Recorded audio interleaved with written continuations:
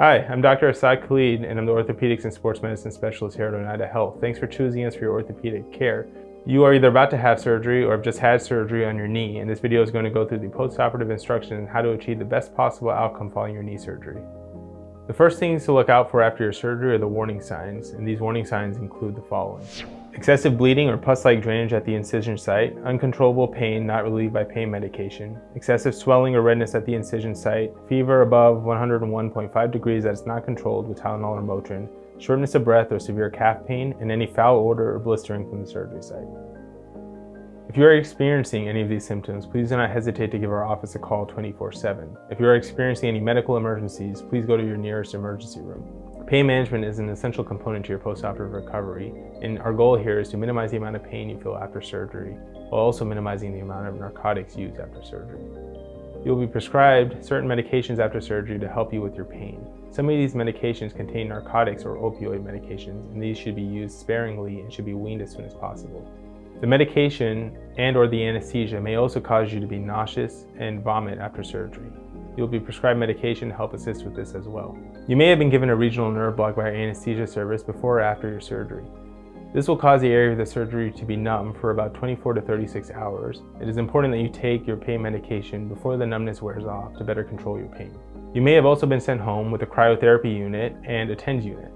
These are important adjunctive treatments to better control your pain without the use of medication. You can use these as tolerated. It's important that you take the pain medication as prescribed and be careful with how much Tylenol you are consuming along with the narcotic medication as these also contain Tylenol. You should not take more than 3 grams of Tylenol in a 24 hour period. Pain is an expected part of your postoperative course and may not be completely controlled 100%. However, excruciating pain that is uncontrollable with the measures that we talked about is an issue. Please call our office if you're having pain that cannot be controlled. When it comes to icing your operative site or using the cold therapy unit you may have been prescribed, please use it as instructed. This would likely be 20 minutes on or 20 minutes off and please do not sleep with the cold therapy on as this can cause burns to your skin. This brings us to diet and activity. It's normal to be a little nauseous after your surgery and if you are feeling nauseous, please start eating a bland diet and then progress to your regular diet from there. It is also normal to have a little constipation while taking your narcotic medicine. And if you're feeling constipated, please take over-the-counter Colace 100 milligrams twice a day. Please try to limit your activity during the first 48 hours after your surgery, as this is when you'll be feeling the most pain and have the most swelling afterwards. You're probably wondering, when can I shower at this point? And the answer is day three after your surgery. But it's very important that you keep your incisions dry, and to help do this, please place waterproof bandages over the operative site, and we also recommend that you use plastic saran wrap over the operative site.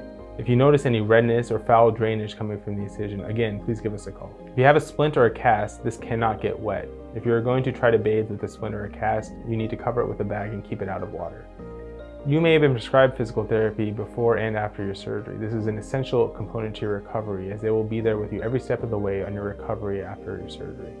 The most common mistake that patients can make after surgery is not following the instructions we just talked about. Every instruction and every piece of advice has its own purpose and they're all essential to helping you achieve the best possible outcome after your surgery.